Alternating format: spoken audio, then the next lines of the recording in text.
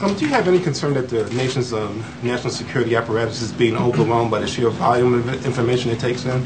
Are you confident that you can keep up with with just the volume of stuff that you? I think the national security record, particularly on the counterterrorism front, is superb. What this country has been able to do, what the counterterrorism community has been able to do, with the increasing amount of information and the collection systems that have come in.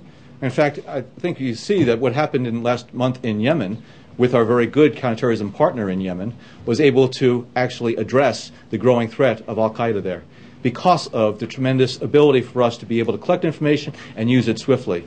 So I think the national security establishment is well served by the changes that have taken place over the last half dozen years, as well as what we're trying to do here in this administration to make sure that we're able to use the information that exists within the different data sets to address our national security priorities. Mr. Brennan, you said that one of the most alarming things that you found was the strength of this Al Qaeda cell in Yemen. Um, what else is it capable of, did your review find? Or what else is it capable of, did your review find, or do you believe? Well, as I said, they, they have taken a number of different paths to try to carry out an attack. That attack against Prince Mohammed bin Nayef, a suicide bomber, concealed within his clothes, an explosive device that, in fact, was very similar to the one that was used by Mr. Abdulmutallab. They're also, though, carrying out attacks against hard structures like the embassy, our embassy in Sana'a in 2008. So there's a diversity there, but there's also several hundred Al Qaeda members within Yemen. And what we need to do is continue to work very closely with our Yemeni partners and other international partners to make sure that we're able to drive Al Qaeda uh, down within Yemen, because they do present a serious threat there, but also abroad. Why should this have been such a surprise, though, sir? Why should this have been such a surprise? What I'm saying is that they were able to bring a person into that execution phase and actually put them on an airport coming here to the United States. As I said, that was one of the failures. As far as we saw that this uh, increased activity was taking place, but we were not focused enough on making sure that we were able to identify whoever was going to be used to carry out that type of attack. Yeah. Yes. Have you heard anything that would suggest that this terror suspect specifically chose Detroit perhaps to send a message to the large Arab American population there.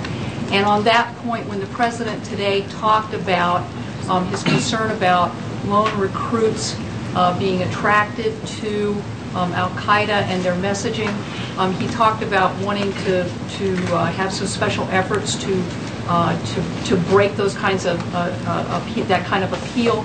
Um, is there anything that you'll be doing specifically um, in an area like uh, southeastern Michigan that has a very large Arab American and Muslim population?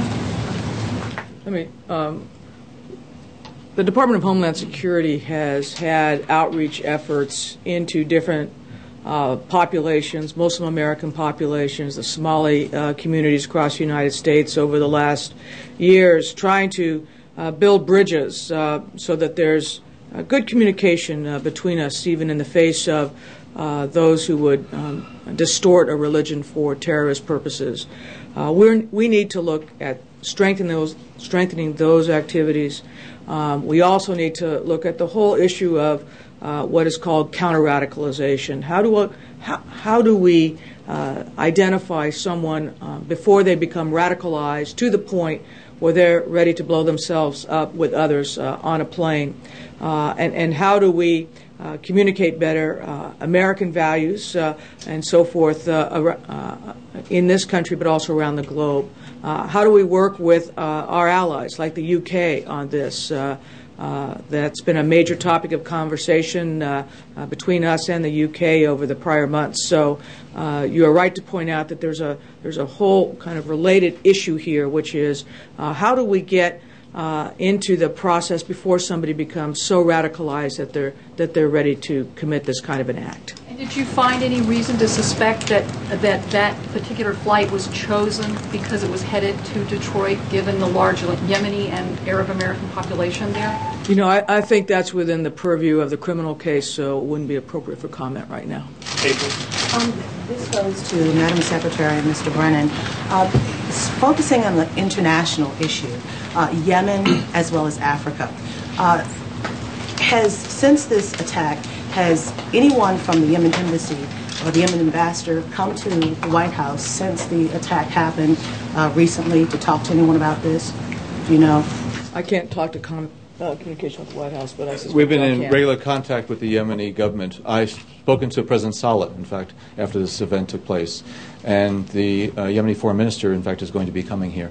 So there have been a number of interactions with our people in Sana'a as well as with Yemeni officials. Now, the issue of extradition, the way I understand it, there's no extradition from Yemen. Is that an issue, particularly with the, the breeding of terrorists there and extremists? Or is that on the table with the Yemen government?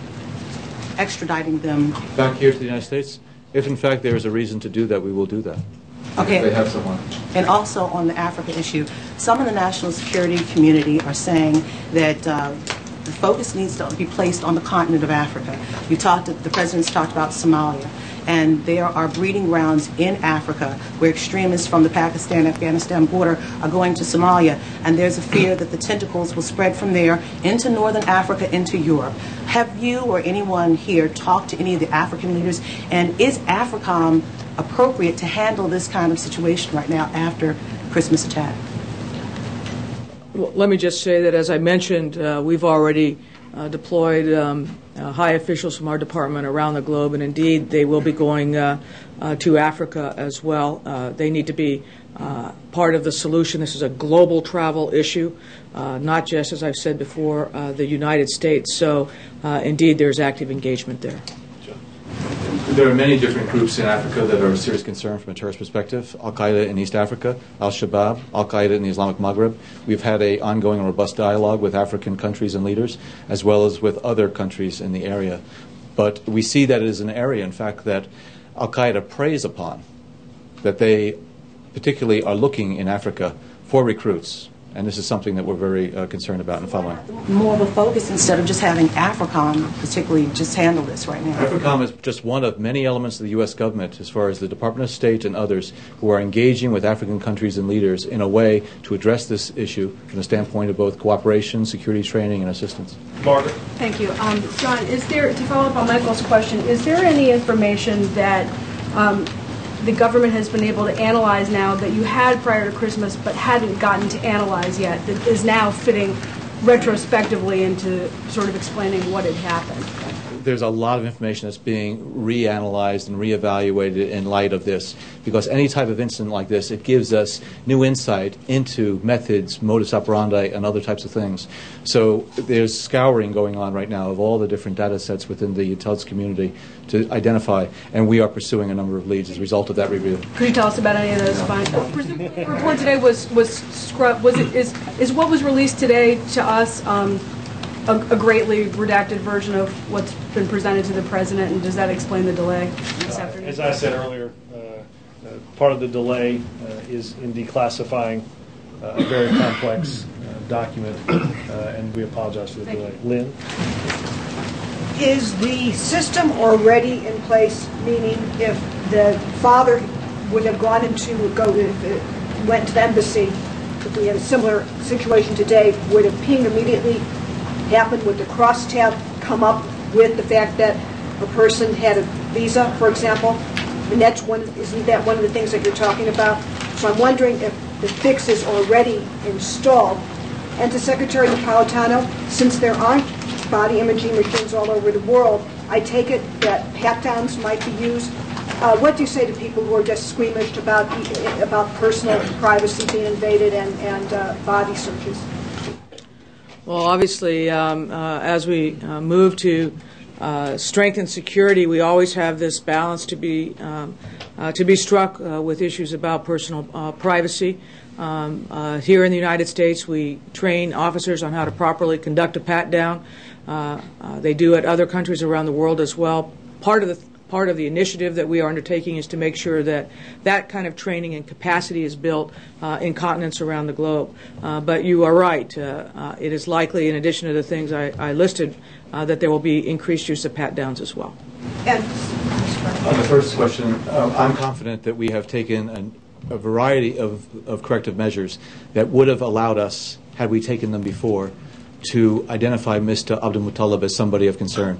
He was identified as an extremist by his father, not a terrorist, not somebody who was planning to carry out a violent act, but particularly the National Counterterrorism Center has been working day and night for uh, since this uh, December 25th attempted attack, has been scouring all of the databases, identities databases as well as all source databases, to make those correlations. And I'm confident that they have done that very thoroughly.